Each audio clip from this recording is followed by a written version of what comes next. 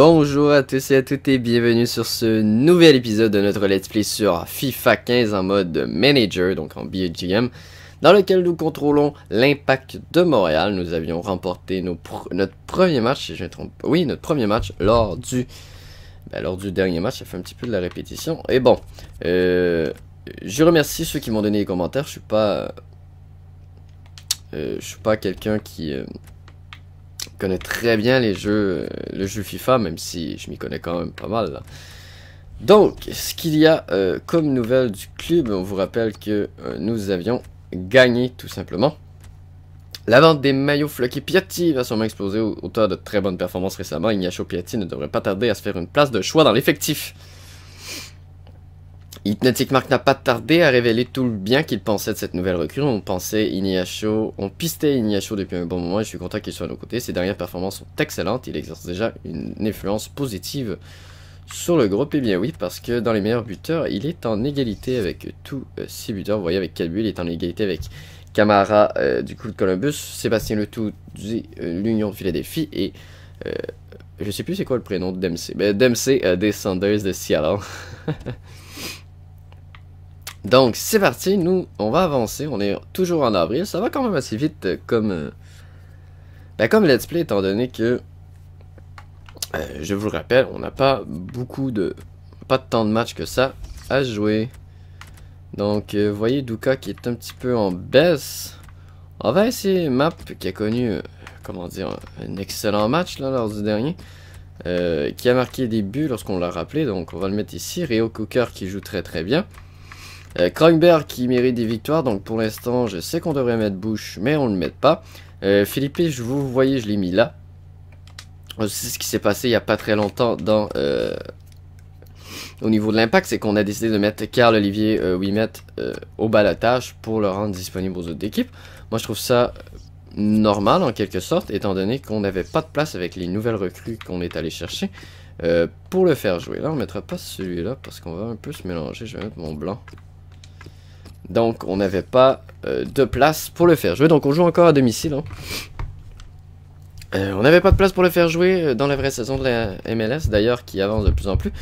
pour ce qui est des niveaux d'impact, Joey Saputo qui a annoncé son, sa déception. Là. Mais je le comprends un peu d'être déçu. Là. Je comprends un peu d'être déçu. Mais bon, c'est pas une raison d'attaquer les partisans en disant qu'ils doivent acheter des billets. Avec les saisons de misère que l'Impact... Euh, avec les saisons de misère que l'Impact a connu euh, l'année dernière, c'est normal que les partisans doivent attendre de voir la marchandise avant d'acheter des billets. Euh, c'est tout à fait euh, normal. Il faut pas prendre les consommateurs pour des, pour des épais, on pourrait dire. Je ne mâche pas mes mots parce que j'ai pas aimé la sortie de Saputo, il aurait peut-être dû être un petit peu plus optimiste. C'est pas en disant Ah, on a une nouvelle équipe, on est allé chercher 11 nouveaux joueurs, on a besoin du 12e joueur. Surtout que le premier match euh, à domicile de l'Impact sera pas un match de la saison de la CONCACAF et le retour et le but. Donc ce sera pas hors jeu. Non. Oui, hors jeu. Le gardien Krogberg l'avait bien vu. Donc comme je disais, l'Impact euh, qui, a connu une saison de misère l'année dernière, c'est normal que les billets se vendent moins, surtout que le premier match sera au stade olympique euh, pour euh, la CONCACAF.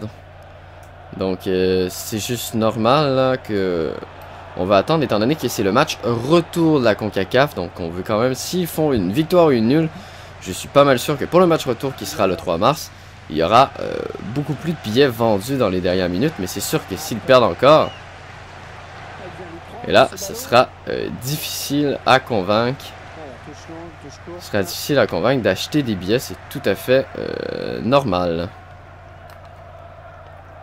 Donc c'était mon petit point actualité. Il y aura des points actualité un peu plus intéressants lorsque la saison de la MLS sera débutée. Euh, qui est toujours pas débutée, qui commencera milieu mars environ. Même si l'Impact jouera un match juste avant. Et au Coker là, qui fait un bon jeu, qui joue bien hein, depuis, euh, depuis son acquisition. Je sais pas si dans la vraie vie il va jouer aussi bien. C'est pas un joueur que je connaissais très bien. J'ai bien hâte de voir. Maxime Tissot qui, qui fait le centre. La retour. Tire tout juste à côté là. Donc l'impact qui a des chances, je vous rappelle qu'on avait gagné 3 à 0 face aux Red Bulls de New York lors du dernier match. Euh, ce qui était quand même surprenant.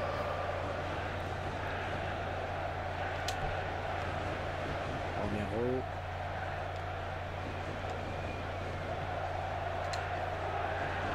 Il donne carrément le ballon à l'adversaire. Justin Mapp là, qu'on- qui a compté un but lors du dernier match lorsqu'on l'a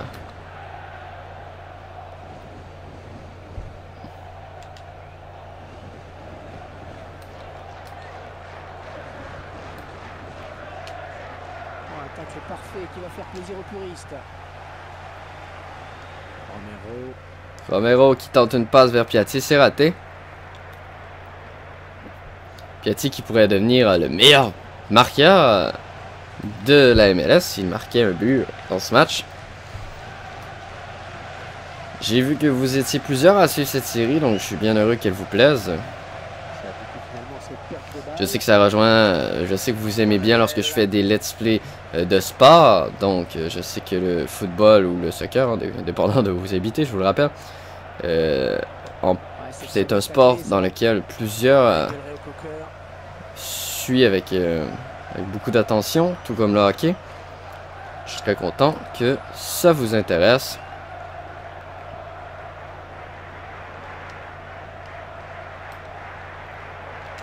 Là, vous voyez, j'ai encore ma petite grippe, j'ai de la difficulté à parler longtemps. Sans que je commence, euh, sans que je commence à perdre la voix là. Donc on est à domicile, je vous rappelle, même si on occupe le maillot blanc.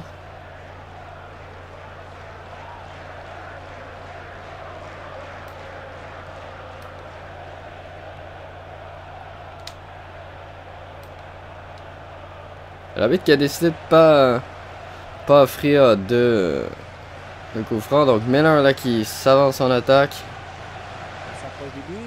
Le défenseur Miller qui tire l'arrêt du gardien qui fera un coup de pied de quoi. Beau jeu du défenseur Miller là qui a, fait une très bonne course. Tissot. Ah, juste tout, un peu trop pour sous-marin. Pas malheureuse, croyez-moi. Et là, il n'arrive pas à cadrer cette reprise sur ce corner. Donc on est à la 45e minute. J'ai pas vu l'arbitre encore euh, décerner le temps supplémentaire. Voilà qui est fait. Plus 4 minutes à faire.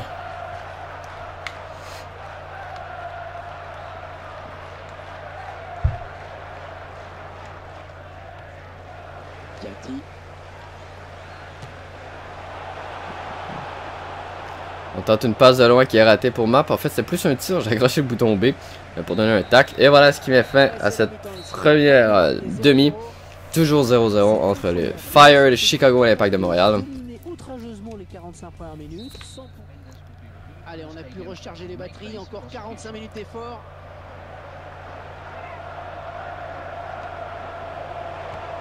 Justin Map qui fait un beau tir, mais l'arrêt de Johnson, qui moi je trouve que c'est l'un des meilleurs gardiens euh, de la MLS là.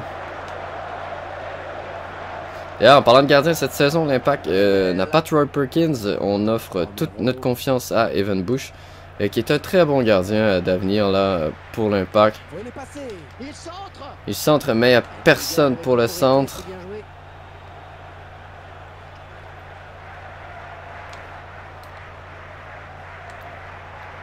Non, mauvaise euh, intervention Tissot là qui laisse passer sur la ligne.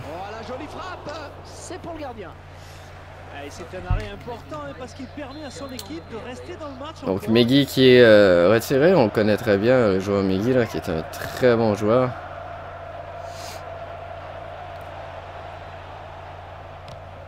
Ce sera là, encore- finalement. Un coup de pied de quoi? Ah non, on a décidé que les joueurs de l'impact n'y avaient pas touché. Miller qui a fait une bonne montée tout à l'heure là. Justin Mapp. Intervention et récupération Désolé. Justin Map.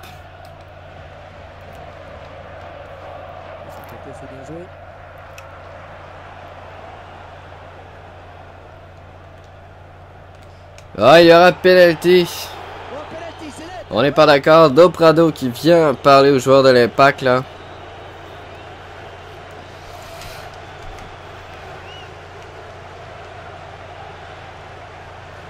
Je sais pas si réellement ça méritait un penalty, mais bon. Ça n'est un donc. On n'est pas très très bon en penalty depuis le début de la saison là. Et j'ai bougé du bon côté, mais j'imagine que le gardien n'a pas eu le temps. Et c'est un but marqué en pénalité de Laranovic. Qui marque. C'est 1 à 0 pour le Fire. La pression, mais le tireur n'a pas tremblé. Alors Jeff Laranovic, Laratovic, désolé. Deuxième but cette saison. Donc l'impact euh, tentera de créer un match nul. Ignacio Piatti là. Remplacement imminent pour l'équipe visiteuse. On n'a pas vu beaucoup McIlhenny dans le match là. Ouais, le duel. Ignacio Piatti. Ah, il ballon.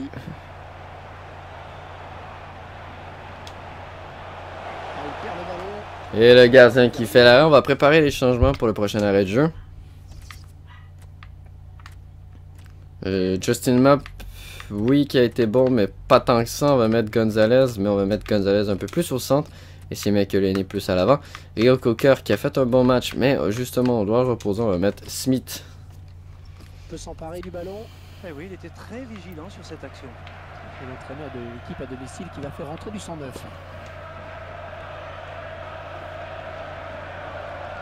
Piatti qui a le ballon. Qui le perd. Qui passe à Mela. Qui lui passe à Piatti.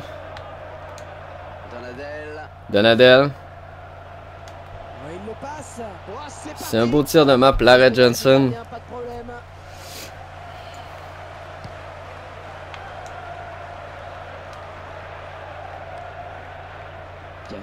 Ignacio Piatti là.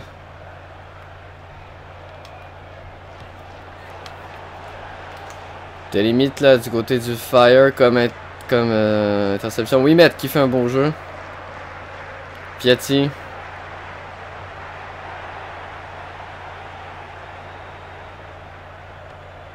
Piatti qui pousse le défenseur du Fire à dégager. Yo Cooker.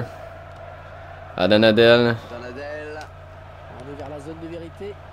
Là, qui ne réussit pas à faire une passe, McElhenney qui lui est un peu plus au centre, qui vole le ballon, qui passe à Romero, qui lui s'avance. Défenseur qui est passé. Ouais, c'est bien centré. Attention. Dégagement du Fire, l'impact qui, euh, qui joue très très bien, là, qui a de très bonnes euh, occasions de marquer. Petit a fait peut-être une passe de trop, on aurait peut-être tenté euh, d'attaquer McElhenney là qui doit euh, venir en défense complète. Il y aura une faute.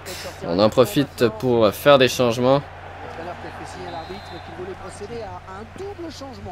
Alors Smith qui va rentrer à la place de Rio Keka et Gonzalez qui va rentrer à la place de Map. 4 minutes de temps additionnel. C'est quand même pas mal joué dans l'intention.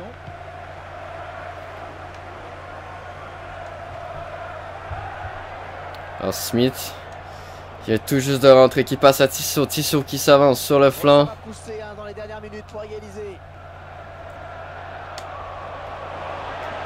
Ah, il pénalité. Qui va tout changer. Ça, c'est sûr et certain. Et en plus un avertissement pour le fautif. Et l'arbitre applique le règlement à la lettre là sur cette action. Ouais, il n'y avait pas de doute. Il y avait un carton aussi euh, décerné. C'est Ignacio Piatti qui pourrait marquer son cinquième but de la saison. Et permettre à l'impact de mener. L'arrêt du gardien, malheureusement. Et malheureusement, l'impact qui se fait de, ben, dominer. Pas une très grande domination, mais tout de même une défaite face au Fire de Chicago. Encore une fois, l'impact qui rate sa chance en fin de match pour égaliser avec un penalty. C'est la deuxième fois que ça nous arrive. Au moins, cette fois-ci, nous n'avons pas. euh, nous n'avons tout simplement pas euh, marqué. Donc, j'aimerais plus souvent être dans l'équipe, nous dit j'ai besoin de jouer plus souvent. Et Eric Miller qui c'est génial d'abord. Au temps de jeu, eh bien Miller le mérite. Pour ce qui est de Lopez, euh, on va aller voir. De Lopez. Ah, on a Camara aussi qu'on ne fait pas jouer. Prochain match d'ailleurs, je vais le faire jouer à la place de Wimet. Voir ce que ça va donner. Et il y a euh, Lopez. Où est-il? Là ah, Lopez à la place de Lefebvre.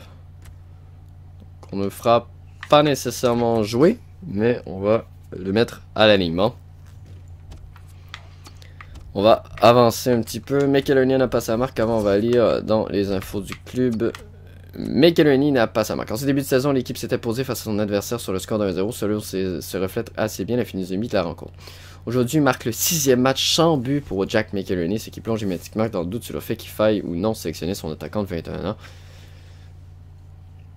On cherche toujours son premier but de la saison pour McElhenney. Et la pertinence de Vincent se pose suite à sa spectaculaire baisse de forme. Doit se reprendre l'entraînement, retravailler les fondamentaux, qui sa place dans l'équipe.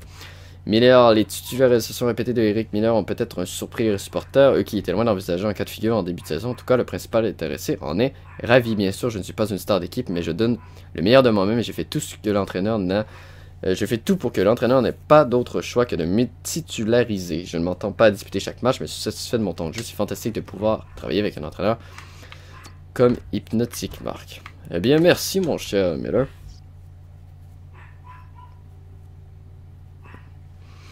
On affrontera euh, le Sporting. Et Donadel qui est complètement en baisse de forme là. Il a bien raison. On va mettre euh, Patrice Bernier. Même si Patrice a le moral un peu bas. On va le mettre pareil. J'ai décidé de garder euh, tout simplement Justin Map. Mais cette fois... là désolé si vous entendez un chien jappé. Donc on va mettre McElhenney en un peu plus à l'avant. On reste euh, complètement l'avant étant donné que c'est notre meilleur marqueur. D'ailleurs, est-ce qu'il y a des personnes qui ont fait 5 buts? Oui, le tout à 5 buts, donc... Euh, il faudra 2 buts. La saison est encore jeune. Si euh, continue de marquer comme ça, ça devrait bien aller. On est à l'extérieur pour ce match face au Sporting de Kansas City. Euh, je ne sais pas si Davy Arnaud, l'ancien capitaine de l'Impact de Montréal, est tout de même là.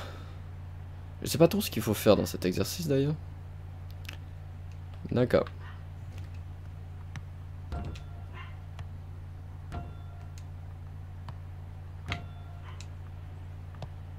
D'accord, il faut faire une sorte de...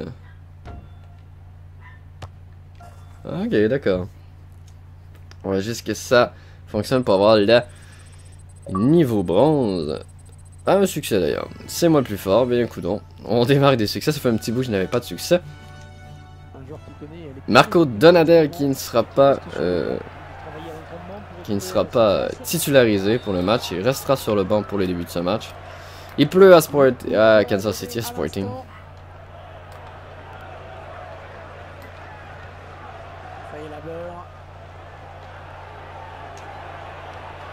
Patrice Bernier là, qui est de retour dans la formation. Il y a une petite baisse d'origine, Bernier, mais Piatti là, qui euh, réussit à se démarquer.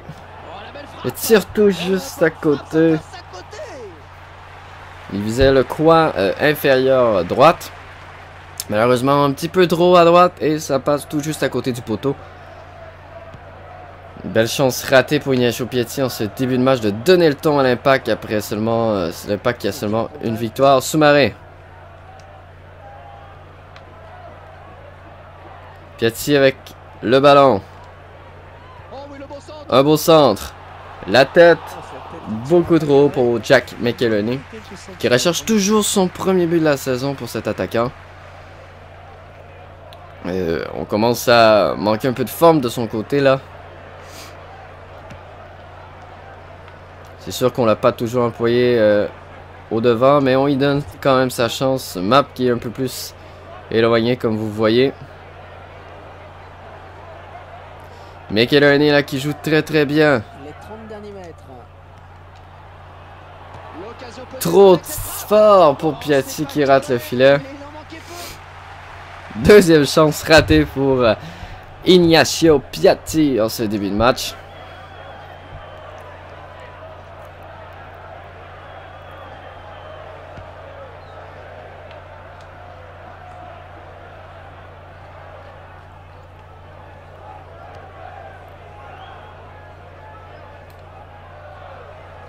Est bien taclé, mais le ballon n'est pour personne. Patrice Bernier là qui reprend. Qui passe à Justin Mapp. Qui essaie de faire une passe au milieu. C'est la défense qui l'attrape. Bernier qui tente de récupérer le ballon là. Il l'a eu. Mais il fait sortir la touche. 7 Zinovic, 6 matchs. Hein, personne ne dira le contraire. Ah, ces statistiques sont rapprochées d'ailleurs, hein, avec parfois un peu de réussite aussi. Alors on s'en va de l'autre côté complètement. Miller qui s'est dit euh, très content de son temps d'utilisation par l'entraîneur de l'Impact. La pression est forte, on va jouer la touche.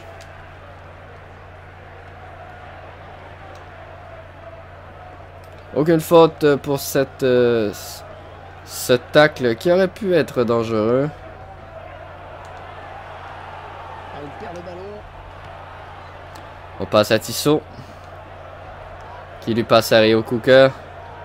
Qui lui passe à McElwain qui décide de dégager à l'aile. Tire l'arrêt du défenseur.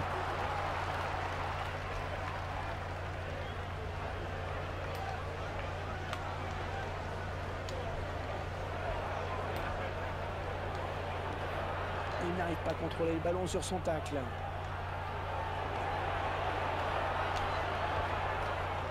Romero.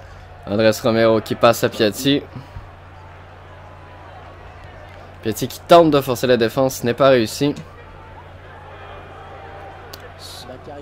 Soumaré. Qui lui passe à McElhenney qui passe à Piatti qui ne réussit pas à déjouer ce défenseur.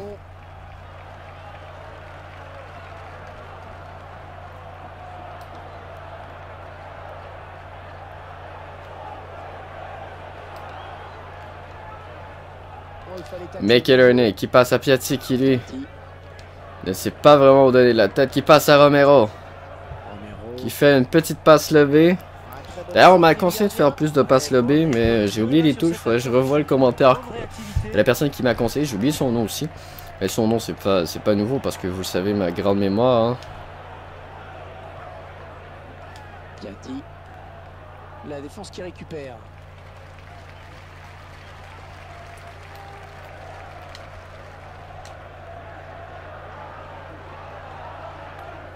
Ouais, on lui a barré la route. Et ce sera un coup de pied de quoi au final euh, Deux minutes de temps additionnel pour euh, cette première demi, toujours 0-0. Ignacio Piatti Camara. à Camara, c'est le but ou Bernier C'est Bernier ça, le numéro 6 Je suis pas sûr. Non, c'est Camara. Asun Camara qu'on le connaît très bien pour ses têtes, il marque euh, cette demi. Donc Asun Camara son premier but cette saison. On le sait qu'il est très très bon sur euh, les coups de pied de coin pour marquer. Feuillet-Labeur. 6 tirs du côté de l'impact, aucun du côté du Sporting là. Fin de la première demi, l'impact finalement qui s'en tire avec une avance d'un but. Un but inscrit dans un silence de cathédrale ici. Ah, les supporters locaux ont pris un coup. On a déjà disputé 45 minutes sous la pluie. C'est parti pour durer pendant toute la seconde période.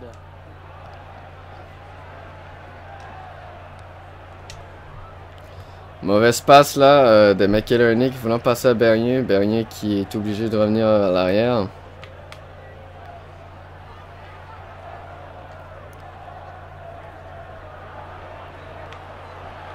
Et là, ça touche euh, un joueur et ça aide là le Sporting à s'avancer. Et il y aura penalty. On a touché la personne au lieu du penalty. vous laisse vous faire votre opinion sur ce tacle. J'espère pour lui qu'il a voulu jouer le ballon. En tout cas, un tacle dangereux quand même. Suzy qui est un très bon marqueur. Ah, on avait été du bon côté, mais malheureusement, il marque tout de même. Graham Suzy, son deuxième but cette saison, c'est un...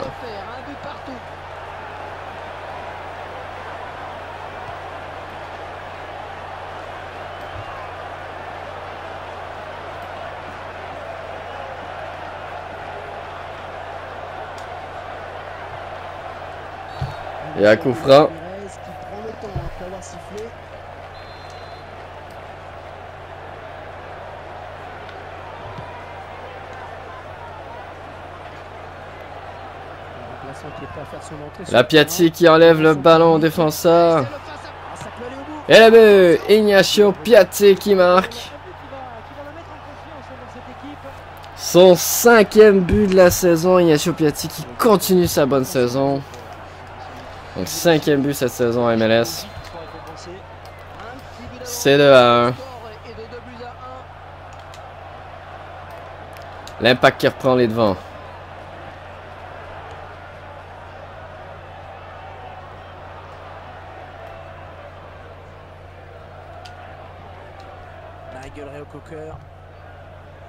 Attention à cette perte de balle au milieu. Réo Cooker là qui tente une passe vers Makelele, mais malheureusement c'est pas, pas assez fort comme passe. Lopez qui va remplir la place de Claros pour le Sporting.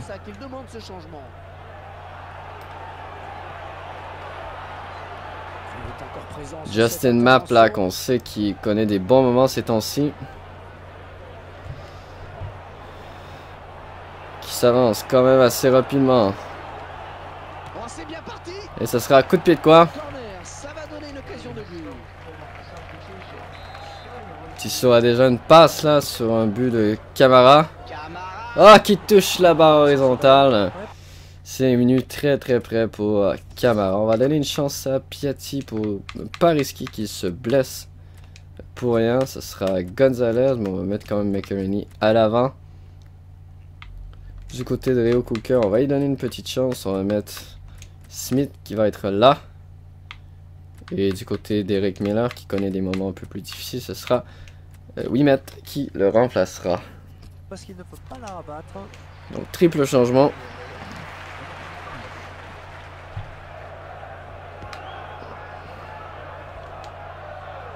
Michael est là qui vole le ballon.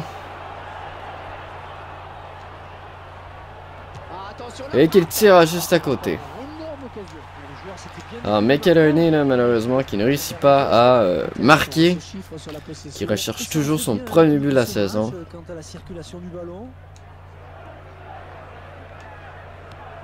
Pas trop compliqué à reprendre finalement. Il dévisse ce ballon hors des limites.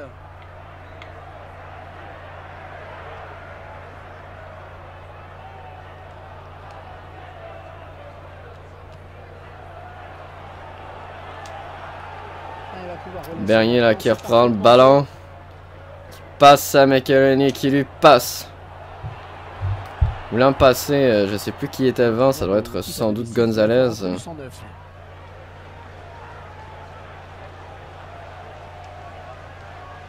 Romero. Romero, Andrés Romero. On fait une passe là, McElhenney. Un match qui est toujours aussi indécis alors que nous approchons du coup de sifflet final. Ah, ça nous promet une fin de match crispante. Mais ça, ça serait un carton là. À. Non, seulement un avertissement. Initial. Changement du côté euh, du Sporting. Nagamura qui va rentrer à la place de Spinoza. Romero.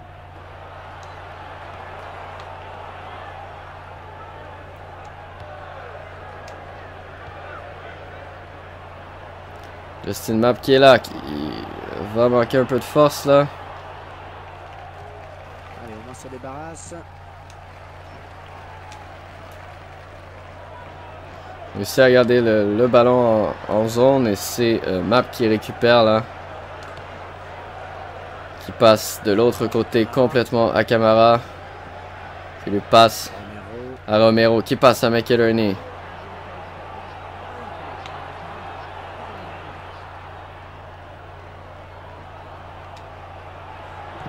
Qui tire l'arrêt du gardien. Beau jeu de McElhenney, là.